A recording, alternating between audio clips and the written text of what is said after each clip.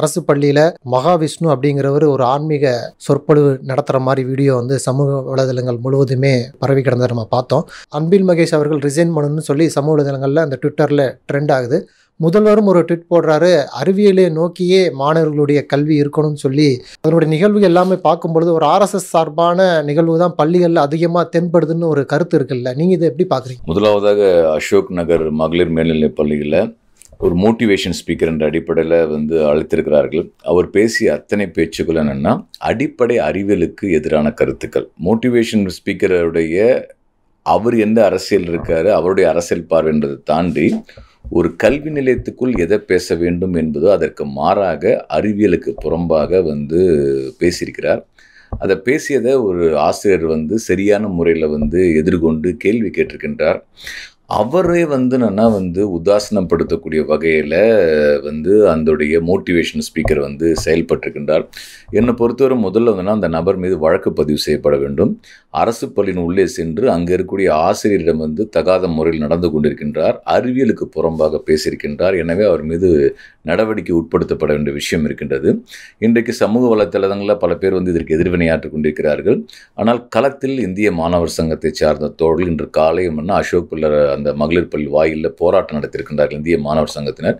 அவங்க போராட்டம் நடத்தும் போது தான் வந்து க பள்ளி கல்வி அமைச்சரும் உள்ளே வந்திருக்கின்றார். அவர்களோடு பேசியிருக்கின்றார். அப்போ நேரடியாக அமைச்சரிடமே வந்து கேள்விகளை வந்து இந்திய மாணவர் சங்கத்தோடு எழுப்பியிருக்காரு. நீங்கள் எப்படி இந்த அரசாங்கம் இப்படி செய்யலான்ற மாதிரி கேள்வி எழுப்பும்போது அவர் வந்து நான் வந்து அரசாங்கம் வந்து உரிய நடவடிக்கை எடுப்பேன்னு சொல்லிட்டு அவர் வந்து வாக்குறுதி அளித்து விட்டு பள்ளிக்கு உள்ளே சென்று கேள்வி கேட்ட அந்த ஆசிரியர் வந்து என்னென்னா அழைத்து பாராட்டியிருக்கிறார் அமைச்சர்.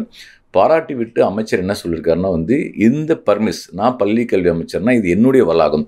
என்னுடைய வளாகத்திற்குள் வந்து பள்ளி கல்வித்துறைக்கு எதிராக அல்லது பள்ளி கல்வித்துறையில் என்ன நிகழ வேண்டும் அதற்கு மாற்றான கருத்தியலை பேசிய நபரையும் அங்கே அதை எதிர்த்து சரியான முறையில் எதிர்வினையாற்ற ஆசிரியரை வந்து அவமதித்து கொச்சையாக எதிர்கொண்ட அந்த நபர் மீது நான் நடவடிக்கை எடுப்பேன்னு சொல்லிட்டு பள்ளி கல்வி அமைச்சர் பேசியிருக்கின்றார்.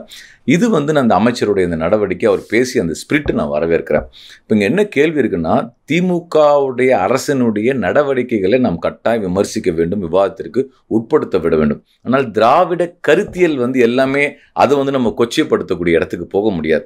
இங்கே என்ன பிரச்சனை இருக்குன்னா ஒரு போராட்டம் நடத்தணும்னா அமைச்சர் வந்து வராரு வந்த உடனே பேசுகிறாரு ஆசிரியர் வந்து உண்மையில் நான் எந்த எந்த இடத்துல பள்ளிக்கல்வி அமைச்சர் சரியான வந்து எதிர்வினையாட்டிருக்கேன்னா ஒரு கேள்வி கேட்டார்ல ஒரு வாதி எல்லா வாதியும் வாயை மூடிட்டு இருந்தாங்கல்ல கவர்மெண்ட் சம்பளம் வாங்கிட்டு வாயை மூடிட்டு இருக்கும்போது ஒரு ஆசிரியர் தமிழ் ஆசிரியர் வந்து நீ பேசுகிற தப்புடான்னு சொல்லிட்டு ஒரு ஆசிரியர் கேட்குறாங்க இல்லையா? அந்த நபரே வந்து என்னென்னா உச்சி மோந்து வந்து தமிழ்நாடு அரசாங்கத்துடைய அமைச்சர் பாராட்டுறது வந்து சரியான விஷயம்.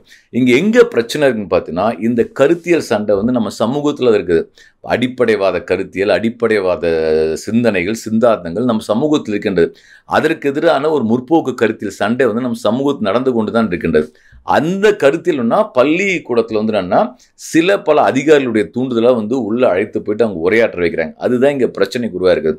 இப்போ இது எப்படி எதிர்கொள்ள வேண்டியதுன்னு பார்த்தீங்கன்னா ஆசிரியர்களுக்கு பொறுப்பு இல்லையா?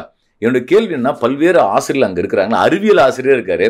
ஏன் ஒரு ஆசிரியர் வந்து தப்பை எடுத்து கேட்க மாட்டேன்றார்? பள்ளிக்கூடத்தில் இருக்கிற அறிவியலை கற்பிக்கக்கூடிய ஆசிரியர். எப்போ நீ பேசுறது அறிவியலுக்கு புறம்பாங்க ஏன் பேச முடியல? அப்போ என்னன்னா நம்ம ஒரு தப்பு நடந்தால் எழுத்து கேட்காம அமைதியாக இருக்குன்றது ஒரு விஷயமா இருக்குது.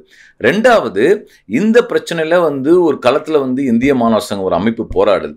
மற்றவர்கள் யாரும் ஏன் போராடல? இப்போ சமூக வலைத்தளங்களில் பல பேர் வந்து இந்த நிகழ்வுக்கு எதிர்வினையாற்றம் நம்ம வரவேற்க ஏன்னா அவங்களுடைய வேலை நிலைமையாக இருக்கலாம் அவங்களுக்கு இருக்கக்கூடிய பொருளாதார சிக்கலாம் அவங்களுடைய அவங்க நேரடியாக ரோட்டில் வந்து பேச முடியாதனால அவங்களால கருத்தை வந்து சோஷியல் மீடியாவில் எதிர்கொண்டு எழுதுகிறாங்க ஆனால் தமிழ்நாட்டில் பல்வேறு அமைப்புகள் இருக்கின்றது. திராவிட முன்னேற்ற கழகம் மாணவர் அமைப்பு வைத்திருக்கிறார்கள். திராவிடர் கழகம் இருக்குது காங்கிரஸ் கட்சி இருக்குது மறுமலர்ச்சி திராவிட முன்னேற்ற கழகம் இருக்கின்றது. பல்வேறு அமைப்புகள் இருக்கிறார்கள். சமூக சீர்திருத்தம் பேசக்கூடிய சிந்தனையாளர்கள் அவர்களும் ஏன் வாய முடியுது ஏன் அவங்களாம் அவங்களையும் தெருவுக்கு வரமாட்டேன்றாங்க நீங்கள் வந்து தெரு அதாவது அடிப்படை அறிவியலுக்கு எதிராக பேசுகிறோம் தெருவில் வந்து சத்தமாக பேசுகிறான் ஆனால் நான் வந்து ஒரு முற்போக்கு கருத்தில் பேசணும் சொல்லக்கூடிய அமைப்புகள்லாம் வெறும் தேர்தல் அரசியலில் மட்டும் இல்லை தேவையான இடத்துல மட்டும் பேசணும் எப்போ சரியா இருக்கும்? இதுதான் இங்கே இருக்கிற பிரச்சனை. அப்போ இந்த வலதுசாரி கருத்தியலை அறிவியலுக்கு புறம்பான கருத்தில் எதிர்கொள்ள வேண்டுமென்றால் களத்தில் அமைப்புகள் இறங்க வேண்டும். ஆசிரியர் அமைப்புகள் ஒரு பங்கு இருக்கு இல்லையா? இப்போ ஸ்டூடெண்ட் ஆர்கனைசேஷன் ரோட்டில் இறங்கி போராடுறாங்க எஸ்எஃப்ஐ டீச்சர்ஸ் மூவ்மெண்ட் என்ன பண்ணுறாங்க ஆசிரியர் அமைப்புகள் வந்து என்னென்னா இந்த பிரச்சனை என்ன விதமாக நடவடிக்கை எடுக்கிறாங்க? அப்போ இதில் ஒட்டு கல்வியாளருடைய கருத்துக்கள் என்னவா இருக்கின்றது? அப்படின்னு பார்த்தோன்னா இந்த பிரச்சனை கல்வி குறித்து பேசும்போது ஒட்டுமொத்த சமூகம் குறித்து பேசுகிறோம். ஏதோ ஒரு பிரச்சனை இன்னைக்கு முடிஞ்சது கிடையாது. நாளைக்கு வேற வேற வகையில் அது வெளிப்பட்டு கொண்டே தான் இருக்கின்றோம் அப்போ கல்வி சார்ந்த விஷயம் வரும்போது தொடர் ஃபாலோ அப் இருக்க வேண்டியிருக்குது. தொடர்ந்து நம்ம வந்து அந்த விஷயங்கள் வந்து கவனம் செலுத்த வேண்டியிருக்கு. இதில் வந்து பார்த்தீங்கன்னா பப்ளிக் ஸ்பேஸ் இருக்கு இல்லையா? அந்த வைப்ரண்ட்டாக சோஷியல் அதாவது சமூகத்தில் இருக்கக்கூடிய அமைப்புகள் இருக்கு இல்லையா? இவங்க வந்து வைப்ரண்ட்டாக கேள்வி கேட்கக்கூடிய இடமா இருக்கணும். ஸ்பாட்டுக்கு போகணும். இது என்னன்னு கேள்வி கேட்கக்கூடிய இடத்துல இருக்கணும். ஆனால் இந்த இடம் இந்த இடம் குறைவாக இருக்கிறதுனால தானே பார்த்தீங்கன்னா இந்த மாதிரியான பிரச்சனைகள் தொடரக்கூடிய விஷயமா இருக்குது.